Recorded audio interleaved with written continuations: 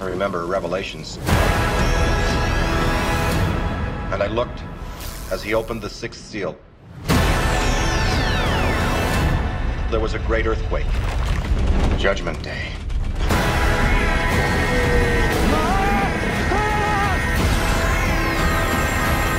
Raise a cult. I'm calling about what happened in New York. There hasn't been a ghost sighting in 30 years.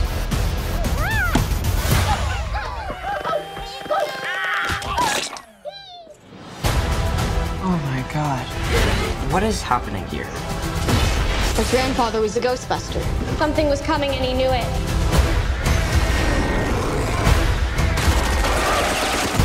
I think we opened the gates of hell. Hey, have you missed us?